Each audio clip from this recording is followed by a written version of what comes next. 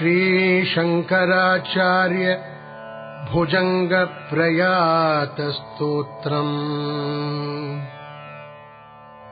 कृपासागरायाशु काव्यप्रदाय प्रणम्राखिलाभीष्टसन्दायकाय यतीन्द्रैरुपास्याङ्घ्रिपाथोरुहाय प्रबोधप्रदात्रे नमः शङ्कराय।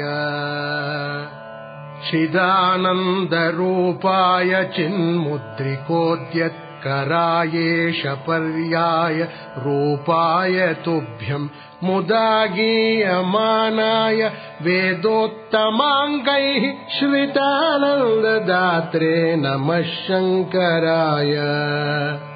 जटाजूटमध्ये पुरायासुराणाम् धुनीसाध्यकर्मन्दिरूपस्य शम्भोः।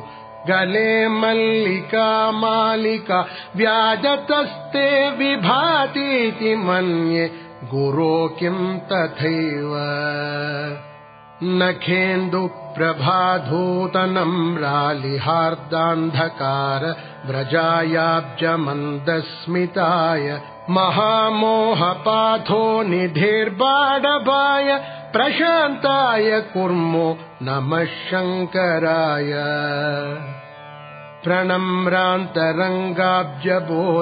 प्रणम्रान्तरङ्गाब्जबोधप्रदात्रे दिवारात्रमव्याहतोस्राय कामम् क्षपेशाय चित्राय लक्ष्मक्षयाभ्याम् विहीनाय कुर्मो नमः शङ्कराय प्रणम्रास्य पाथो जमोदप्रदात्रे सदान्तस्तमस्तोमसंहारकर्त्रे रजन्यामपिद्धप्रकाशाय कुर्मो ह्यपूर्वाय पूष्णे नमः शङ्कराय।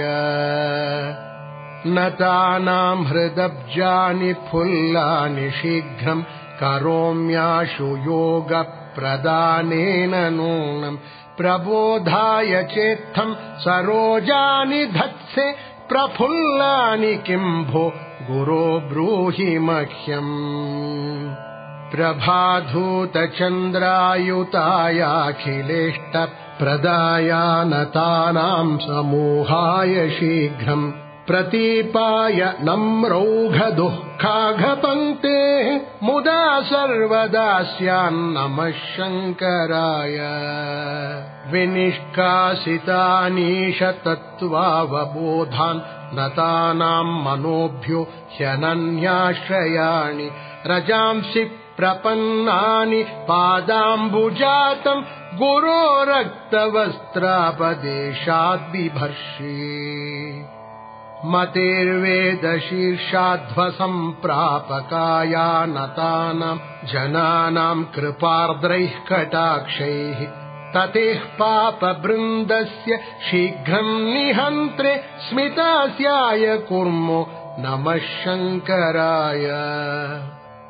सुपर्वोक्तिगन्धेन हीनाय तूर्णम् पुरातोटकायाखिलज्ञानदात्रे प्रवालीय गर्वापहारस्य कर्त्रे पदाब्जम्रदिम्न नमः शङ्कराय भवाम्भोधिमग्नान् जनान् दुःखयुक्तान् जवादुद्दिधीर्षुर्भवानित्यहोऽहम् विदित्वा हि ते कीर्तिमन्यादृशीम् भोः सुखम् निर्विशङ्कस्वपिम्यस्तयत्नः। सुखम् निर्विशङ्कस्वपिम्यस्तयत्नः